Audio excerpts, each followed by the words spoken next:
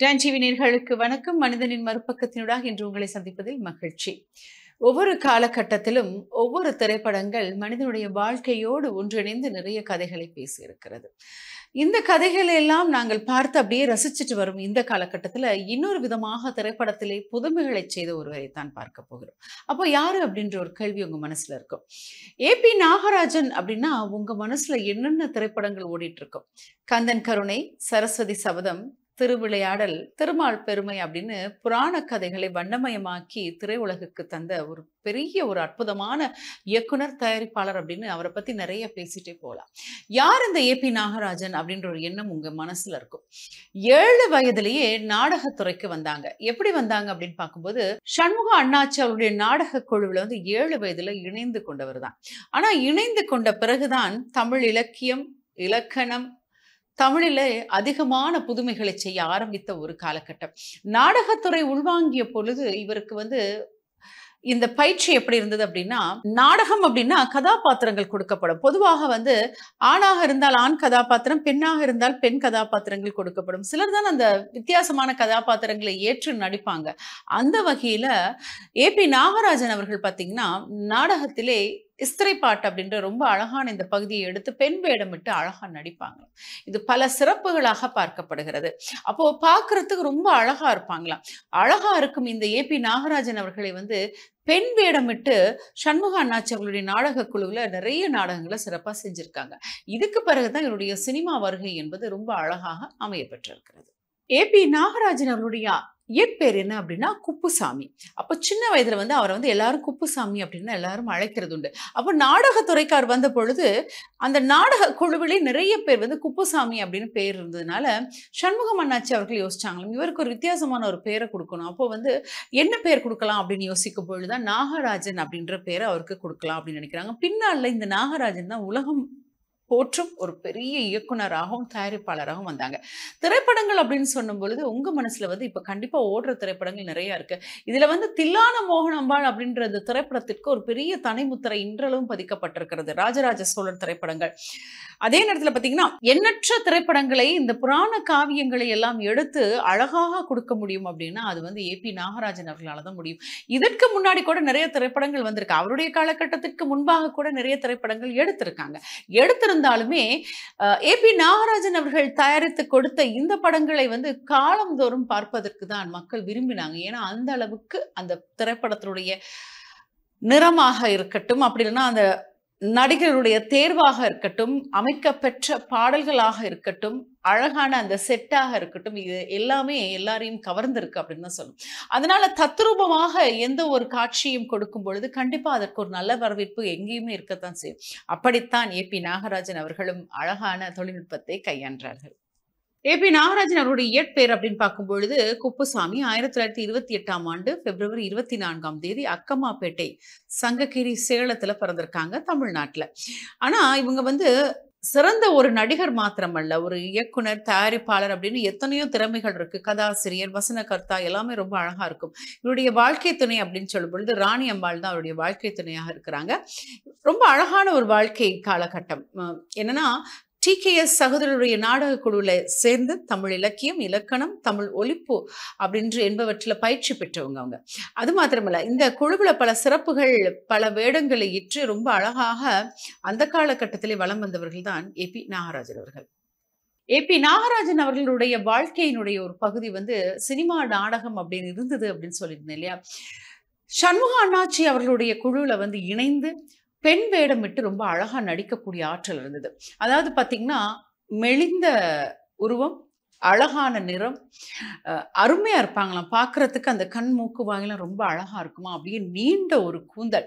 இந்த கூந்தலை பராமரிக்கிறதுக்கே ஒருத்தர் வச்சுருப்பாங்களாம். ஏன்னா பேன் வந்துருமோ அப்படின்ற ஒரு பயம். அப்போ நீண்ட ஒரு கூந்தல் அந்த அரங்கில் வந்து அவங்க நடிக்கும் பொழுது பார்க்கறதுக்கு நிறைய பேர் வருவாங்களாம். அதுவும் ஆண் ரசிகர்கள் ரொம்ப அதிகமாக இருந்தாங்க அப்படின்னு சொல்லியிருக்காங்க. அப்போது இந்த காலகட்டத்தில் வந்து ரொம்ப அழகாக அர்ஜுனனுக்கு திரௌபதியாகவும் ராமனுக்கு சீதையாகவும் அதே நேரத்தில் பார்த்தீங்கன்னா ரொம்ப அழகான பெண்களுடைய கதாபாத்திரத்தை வெளிப்படுத்தக்கூடிய ஆற்றல் இருந்தது. மன்னர்களுக்கு வந்து ராணியாகவும் நடிக்கக்கூடிய அந்த ஆற்றல் வந்து நிறைய ரசிகர்களை அந்த இடத்துல கட்டி போட்டுது அப்படின்னு சொல்லலாம். சண்முக அண்ணாச்சி அவர்களுடைய துணைவியார் நாடகம் பார்க்க வர்றதுண்டு. வரும்பொழுது அவங்க மனசுல நிறைய கேள்விகள் இருந்தது. எப்படிப்பட்ட கேள்விகள் இருந்ததுன்னா யார் இந்த பெண்? இவ்வளவு அழகா இருக்காங்களே. இந்த அழகான பெண் வந்து நாடகம் நடிக்கும் பொழுது எல்லாருமே ரசிச்சு பார்க்குறாங்களே அப்படின்ற ஒரு எண்ணம் இருந்தது அவங்க மனசுல. அந்த எண்ணத்தை வந்து சண்முக அண்ணாச்சி அவர்கிட்ட கேட்கறாங்க யார் அந்த பெண்? எப்ப பார்த்தாலும் உங்க கூடயே நாடகம் நடிச்சுக்கிட்டே இருக்காங்க அப்படின்னு சொல்லும் பொழுது அப்படியா ரொம்ப அழகான பெண். பார்க்கறதுக்கு மயக்கம் தரக்கூடிய பெண்ணா இருக்காங்க அப்படின்னு சண்முகம் அண்ணாச்சி அவர்கள் சிரிச்சுக்கிட்டே சொல்றாங்களாம். சரி அவரை நாளைக்கு நான் வர சொல்றேன் நீங்க பாருங்க அப்படின்னு சொல்லிட்டு அன்றைய பொழுது அப்படி இருக்கும் பொழுது அடுத்த நாள் காலை பொழுது அழகாக விடுகிறது. அப்போ ஒருத்தர் வந்து நிக்கிறாரு. அப்போ சண்முகம் அண்ணாச்சியினுடைய துணைவியா இருக்கலாம் நீங்க யார் அப்படின்னு கேட்கணும் நான் வந்து நாகராஜன் அப்படின்னு சொல்றாங்களா அப்போ வீட்டில் வீட்டுல வந்து உள்ள வந்து சொல்றாங்க நாகராஜன் யாரோ வந்திருக்காங்க. ஆனா நீங்க வந்து அந்த நாடக நடிகையை தானே வர சொல்லியிருந்தீங்க. இப்ப யாரோ வந்திருக்காங்க. அப்படின்னு இவங்க சொல்றாங்க. அப்போதான் சண்முகம் அண்ணாச்சி அவர் சொன்னாங்களா நீங்க யாரை பார்க்கணும்னு நினைச்சீங்களோ அவங்க தான் வந்திருக்காங்க. இவர் தான் அந்த பெண் வேடம் விடக்கூடியவர் அப்படின்னு சொல்லும்போது அவங்களுக்கே பெரிய ஆச்சரியமா அவங்க கண்ணே நம்ப முடியல ரொம்ப நேரம் யோசிக்கிறாங்களாம். அப்புறம் தான் பார்த்தாங்களாம் ஆமா ஏன்னா அவ்வளவு அழகா இருப்பாங்களாம் பாக்குறதுக்கு அது மாத்திரமல்ல தன்னுடைய நடிப்பின் மூலமாக அந்த கதாபாத்திரத்தை முழுமையாக வெளிப்படுத்தக்கூடிய ஆற்றல் ஏபி நாகராஜன் அவர்களுக்கு ரொம்ப அருமையா சின்ன வயதுல இருந்தது அப்படின்றத பார்க்கக்கூடியதா இருக்கு. நாகராஜன் அவர்கள் வந்து நாடகம் நடிச்சாங்க அப்படின்னு சொன்னீங்க குமஸ்தாவின் பின் அப்படின்ற ஒரு நாடகம் நடிச்சிருக்காங்க. இந்த நாடகத்தை பின்னாளில் வந்து திரைப்படமாக எடுக்கணும்னு நினைச்சிருக்காங்க. அப்போ ராஜம்பாள் அப்படின்ற ஒரு நடிகையை தான் நடிக்க வைக்கணும். ஆனால் இந்த கதாபாத்திரத்தை நாடகத்துறையில ஏற்று நடித்த நாகராஜன் அவர்களுடைய அந்த நடிப்பு இருக்கணும் அப்படின்னு டைரக்டர் எதிர்பார்த்ததுனால அடிக்கடி இந்த ராஜம்மா அவர்களை வந்து அந்த நாடகம் பார்க்கறதுக்கு கூட்டிட்டு போவாங்களாம். கூட்டிட்டு போய் நீங்க நாடகத்தை பாருங்க. அந்த பெண் வேடமிட்டிருக்கும் அந்த நாகராஜன் அவர்களுடைய அந்த நடிப்பை பாருங்க. அப்பதான் திரைப்படத்துக்கு முழுமையா கொடுக்க முடியும் அப்படின்றது வந்து அடிக்கடி பதிவு செய்ததா சொல்லப்பட்டிருக்கு. ஏன்னா அந்த அளவுக்கு அவருடைய நடிப்பு தான் அங்கே பேசப்பட்டது. ஏ பி நாகராஜன் அவர்கள் நால்வர் அப்படின்னு ஒரு நாடகம் நடிச்சிருந்தாங்க. அந்த நாடகம் திரைப்படமாக பின்னால எடுக்கப்பட்டது. அப்போ இந்த நாடகம் எடுக்கப்பட்ட இந்த காலகட்டத்துல வந்து ரொம்ப ஒரு திறமை மிக்க ஒரு நடிகரா வந்து வலம் வர்றாங்க நால்வர் திரைப்படத்துல. இதுல வந்து என்ன கதாபாத்திரம் அப்படின்னா கண்ணியமிக்க காவல்துறை அதிகாரியாக நடிச்சிருக்காங்க.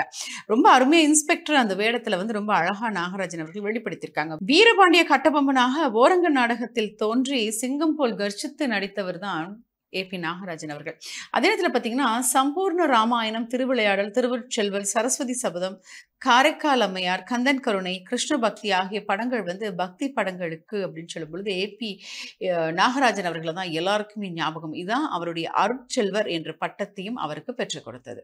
சில நேரங்களில் சமூக படங்கள் கூட எடுத்திருக்காங்க. தில்லான மோகனாம்பாள் மக்களை பெற்ற மகராசி நவராத்திரி வடிவுக்கு வளைகாப்பு வா ராஜாவாய் திருமலை தென்குமாரி மேல்நாட்டு மருமகள் அப்படின்னு சில சமூக படங்களையும் எடுத்திருக்காங்க. இந்த படங்கள் கூட பார்க்கறதுக்கு ரொம்ப அருமையாக இருக்கும் அந்த காலகட்டத்தில். இப்போ கூட ரசித்து பார்க்கலாம். ஏபி நாகராஜன் அவர்கள் எடுத்த புராண கதைகளை பார்க்கும் பொழுது அதிகமான பண செலவு மாத்திரமல்ல. அந்த ஆடை அலங்காரங்களுக்கு கூட நிறைய அளவில் அவங்க வந்து கஷ்டப்பட்டு எடுத்திருக்காங்க. ஏன்னா அந்த காலத்தில் அந்த பிரம்மாண்டமாக இருக்கும். இப்போ கூட இந்த திரைப்படங்களை பார்க்கும் பொழுது எப்படிப்பட்ட ஒரு ஆடை அலங்காரங்கள் எப்படிப்பட்ட வடிவமைப்புகள் அந்த அந்த நடிப்புக்கு அவர் சொல்லி கொடுத்த விதம் எப்படி அப்படின்னு யோசிக்க தோணுது. இந்த திருவிளையாடல் திரைப்படத்தில் பார்த்தீங்கன்னா இந்த பாகவதர் காட்சி ஒன்று அமைக்கப்பட்டிருந்தது. எல்லாருக்குமே தெரியும். அது டி எஸ் பாலை அவர்கள் ரொம்ப அழகாக செய்திருப்பாங்க. அதுக்கப்புறம் வந்து சாவித்திரி அவர்களுக்கு பார்வதி கதாபாத்திரம் கொடுத்துருப்பாங்க. அப்போ அந்த ஆடை அலங்காரங்கள் ரொம்ப எவ்வளவு அருமையாக இருக்கும். சிவாஜி கணேசன் அவர்களுக்கு அவர்கள் கொடுத்த அந்த சிவபெருமானுடைய அந்த கதாபாத்திரம் வந்து ரொம்ப அழகாக பொருத்தப்பட்டிருந்தது. அந்த திருவிளையாடல் திரைப்படத்துல கூட எத்தனையோ வித்தியாசமான கதாபாத்திரங்களை அவர் ஏற்று நடிக்கும் பொழுது அத்தனை கதாபாத்திரங்களுக்கும் ரொம்ப அழகாக அஹ், நடிப்பு எப்படி இருக்கணும் அது எப்படி வெளிப்படுத்தணும் அந்த காட்சி அமைப்பு என்ன அந்த இடத்துக்கு ஏற்றாப்போல் எப்படி செட் அமைக்கணும் அப்படின்லாம் ரொம்ப யோசிச்சு செயல்பட்டவங்க தான் ஏபி நாகராஜன் அவர்கள். இதே மாதிரி அவர் வந்து பார்க்குறதுக்கு எப்படி இருப்பா அப்படின்னா சாதாரணமாக தான் இருப்பாராம். கதராடையை ரொம்ப அழகாக உடுத்திருப்பாங்க. அப்புறம் நெற்றியில வந்து திருநீர் வந்து இட்டிருப்பாங்க. அந்த திருநீரில் நடுவில் வந்து ஒரு குங்குமம் பதிச்சிருப்பாங்க. பார்க்கறதுக்கு ரொம்ப கலையான அம்சமான ஒரு முகமாக இருக்கும்? எப்போவுமே சிரித்த முகத்தோடு தான் எல்லாரும் முன்னாடி இருப்பாங்க. அப்போ இவரை பார்க்கும் பொழுதே நிறைய பேருக்கு வந்து ஒரு தெய்வீக எண்ணங்கள் அது மாத்திரமல்ல எப்பொழுதுமே தானும் வாழ்க்கையில் சாதிக்கணும் எப்பவுமே எந்த உயரத்துக்கு போனாலும் சாந்தமாக இருக்கணும் அப்படின்ற எல்லா விடயங்களும் எல்லாருக்கும் தெரியும் அளவுக்கு இவரை பார்க்குறதுக்கு ரொம்ப அருமையாக இருக்கும் அப்படின்றத கூட குறிப்பிட்டிருக்காங்க. ஏ பி நாகராஜன் அவர்கள் எவ்வளவு வெற்றி படங்களை கொடுத்திருக்கிறாரோ சில நேரங்களில் அவருக்கு சில படங்கள் தோல்வியும் கொடுத்திருக்கிறது.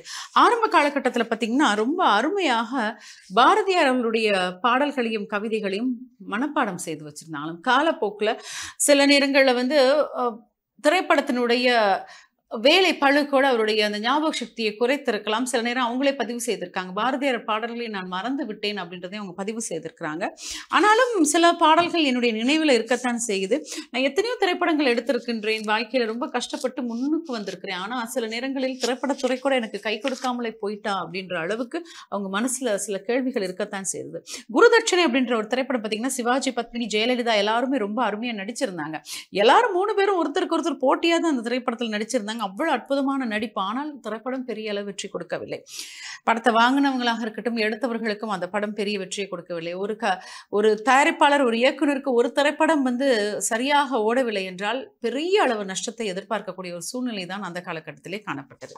ஏபி நாகராஜன் அவர்கள் வந்து எப்பொழுதுமே எல்லாரிடத்திலும் இதமாகவும் நல்ல மனதோடு பழகக்கூடிய ஒரு நபர். அப்போ வாசன் அவர்கள் வந்து எப்பொழுதுமே நாகராஜன் அவர்கிட்ட கேட்பாங்களாம் ஏதாவது ஒரு படம் எடுங்க ரொம்ப அருமையான கதையாக இருக்கணும் அப்படின்னு கேட்டுட்டு இருக்கும்போது பொழுது ஒரு சந்தர்ப்பம் என்னன்னா தில்லானா மோகன் அவள் பார்த்தீங்கன்னா கொத்தமங்கலம் சுப்பு அவர்களுடைய படைப்பு. அவர்கள் எழுதிய ஒரு கதை. அப்போ அவர்களுக்கு வாசன் அவர்கள் வந்து இருபதுனாயிரம் ரூபாய் பணம் கொடுத்து அந்த கதையை வாங்குறாங்க. இந்த கதையை வந்து ரொம்ப அழகா கேட்டு அறிஞ்ச பிறகு என்ன பண்றாங்கன்னா ஏபி நாகராஜன் அவர்கள் அடுத்த நாளை வந்து அவருடைய வீட்டுக்கு போய் மேலதிகமாக ஒரு பத்தாயிரம் ரூபாவை கொடுத்துட்டு வராங்க. அப்ப ஏற்கனவே அதற்கு பணம் கொடுக்கப்பட்டிருந்தாலும் மேலதிகமாக பத்தாயிரம் ரூபாய் எதுக்கு அப்படின்னு எல்லாருடைய மனதிலும் ஒரு கேள்வி இருந்தாலும் அவர் சொன்ன விளக்கம் அப்படின்றத விட புரிந்து கொள்ள வேண்டியது என்னன்னா அந்த திரைப்படம் வந்து பெரிய அளவு வரப்போகுது அப்படின்ற மனதில் ஒரு கணிப்பு. அதே நேரத்தில் வந்து இந்த கதையின் மூலாதாரம் வந்து கொத்தமங்கலம் சுப்பு அவர்கள். அப்போ அவருடைய அந்த கதையை எடுத்து அதன் மூலமாக தங்களுக்கு ஒரு பெரிய அளவு ஒரு வெற்றி கொடுக்க போகுது அப்படின்னா அதனுடைய பங்கை முழுமையாக அவருக்கு கொடுக்கணும் அப்படின்ற எண்ணம் தான் அவருடைய மனதில் இருந்தது அப்படின்றத பார்க்கக்கூடியதா இருக்கு. ஏ பி நாகராஜன் அவர்கள் கணித்தது போல் தில்லான மோகனாம்பாள் திரைப்படம் வந்து எல்லாராலும் எப்பொழுதும் எந்த காலகட்டத்திலும் இப்பொழுது வரை ரசித்து பார்க்கக்கூடிய ஒரு திரைப்படமாக இருக்கு. பொதுவாக ஏபி நாகராஜன் அவர்கள் கதை வசனமோ அல்லது அந்த திரைப்படத்திற்கு முழுமையான ஒரு தயாரிப்பில் அவர் ஈடுபட்டார் அப்படின்னா அந்த திரைப்படம் வந்து குடும்பத்தோடு அமர்ந்து பார்க்கக்கூடிய திரைப்படங்களாக இருக்கும். சமூக விழிப்புணர்ச்சி திரைப்படங்கள் மாத்திரமல்ல. புராண காவியங்களை கூட அழகாக மக்களுக்கு கொடுக்கணும் அப்படின்ற எண்ணத்தை மாத்திரம்தான் அவர் முழுமையாக செயல்படுத்தினார். ஏபி நாகராஜன் அவர்களுக்கு திருவிளையாடல் திரைப்படத்தில் வந்து சிறந்த தமிழ் திரைப்படத்துக்கான தேசிய விருது ஆயிரத்தி தொள்ளாயிரத்தி அறுபத்தி ஐந்தாம் ஆண்டு கொடுக்கப்பட்டது. தில்லானா மோகனம்பாள் திரைப்படத்திற்கான சிறந்த தமிழ் திரைப்படத்துக்கான தேசிய விருது ஆயிரத்தி தொள்ளாயிரத்தி அறுபத்தெட்டாம் ஆண்டு கொடுக்கப்பட்டது. அதே நேரத்தில் அவர் நடித்த திரைப்படங்கள் அப்படின்னு சொல்லும் பொழுது திருவிளையாடலில் வந்து நக்கீரன் கதாபாத்திரம் ஏற்றவர் தான் ஏ பி நாகராஜன் அவர்கள். அதே நேரத்தில் வந்து அருப்பெருஞ்சோதி ராமலிங்க அடிகளார் சுவாமிகளாக தன்னுடைய கதாபாத்திரத்தில் ரொம்ப அழகாக திரைப்படத்தில் நடிச்சிருந்தாங்க. ஏ பி நாகராஜன் அவர்கள் இயக்குனரை பார்த்து தமிழ் திரையுலகம் வந்து ரசிகர்களுக்கு முதன் முதலாக வியந்த ஒரு விடயம் அப்படின்னா நவராத்திரி திரைப்படம். ஒன்பது மாறுபட்ட வேடங்களில் நடிகர் திலகம் சிவாஜி கணேசன் அவர்கள் ரொம்ப அழகாக அந்த காலகட்டத்திலே நடிச்சிருந்தாங்க. இது ஒரு சிறப்பாக பார்க்கப்படுகின்றது.